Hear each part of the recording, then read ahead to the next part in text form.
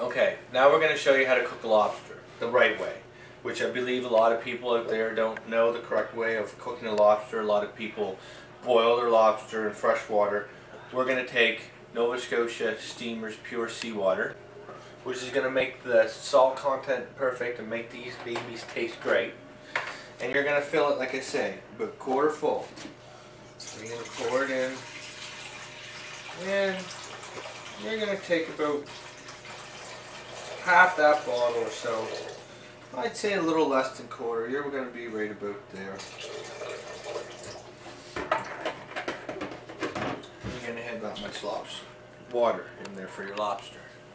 So now we're going to take it, we're going to put it on the stove, turn the burner on maximum or high, and we're going to cover that so that gets going. Meanwhile, one of the most important things that you're going to do here which I believe most people don't do, is we're going to remove these bands. Just think of it this way. If you were cooking potatoes or corn or carrots, would you take rubber bands and put in and boil them with it? Of course not. Most people leave these bands on because maybe they're scared to take them off, scared they're going to get their hands bit, but we're going to show you a perfect way to do this. If you're a little scared, you get two people. One person holds the claw like this, and the other claw like this, and the other person is going to take these off. Now if you're by yourself, and you want to take these off, what you can do, and it's very easy, is you're going to take your hand and you're going to squeeze these up like this. And you're going to hold this up close and you're going to squeeze some claws together.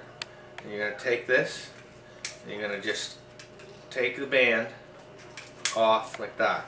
That way, look, you can't get at you. And you just take the other one and you take it off. I'm going to go over here before this gets boiling too much. And you're going to put that right in the pot. you're going to take the other one. You're going to do the same thing. You're going to squeeze these claws. You're going to hold it like up around the eyes. Squeeze these together so they can't do nothing. And you're going to take the band off like that. And then take the other band off like that. Or, if you don't feel comfortable doing that, your band's on there. Say your band was on can always take. Scissors. And cut them off, which is very easy.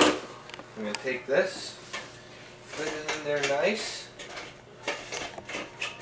that, we're going to cover it, and then we're going to fold it excuse me, and then we're going to follow the cooking directions on www.steamersseawater.com. It's going to give you all the different times and directions for cooking your lobster, which roughly a pound and a half to two pounds, you're looking at about 15 to 20 minutes from a rapid boil.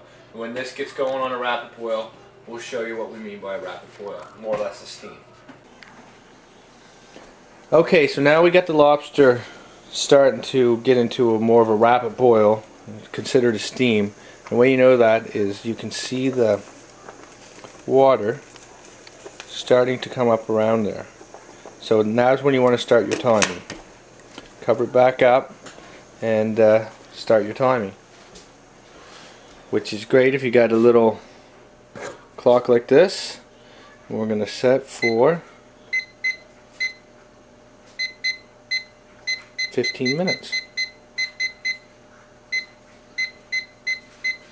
And start. Okay, now we're at a good steam, and this is what you want your uh, lobster to uh, be steaming at. If you look in the pot, you can see it steaming up around. I'll take it off quick. See? Perfect. Boil it down and put it back on.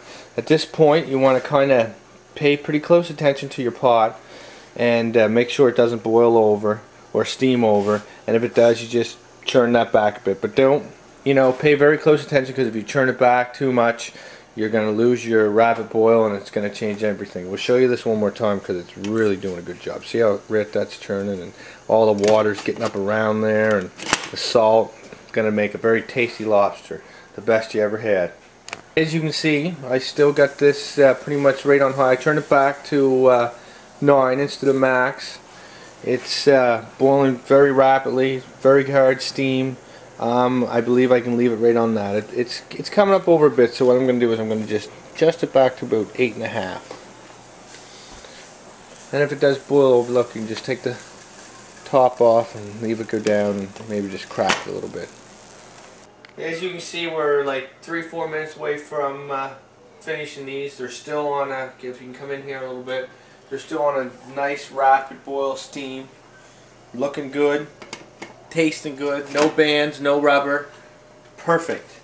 Make sure you take them bands off again because this is what is going to make a difference and the key is having that salt water. So here we are patiently waiting for the lobsters to uh, get done because we're waiting to taste some really good lobsters.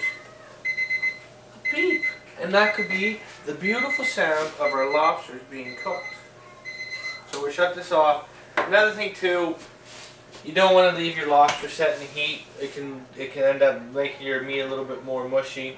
And another thing that I wanted to add to this, if your lobster is dead before you do cook your lobster, seven times, maybe six times out of ten, your, your meat can get really mealy and mushy. So that's another key why you want to keep your lobster alive until you put it into the pot. So we'll turn this off. Okay, so we're going to dump uh, the rest of the lobster here. turn it off. This has been on for a good uh, 15 minutes. I like having it done for 15 minutes because also it gets the body done inside, which we like the body. A lot of people don't, but don't be scared to try it.